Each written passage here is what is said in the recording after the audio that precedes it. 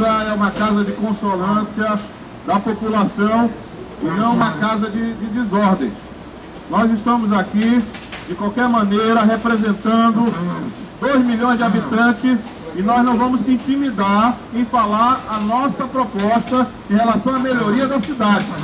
Não vamos intimidar por agressões que vinha sofrer no plenário. Porque aqui nós estamos defendendo, sim, uma proposta. Aquele que tem proposta ao contrária, que venha para o microfone e fale sua proposta ao contrária. Mas na força, ninguém vai mudar o voto de ninguém, senhor presidente.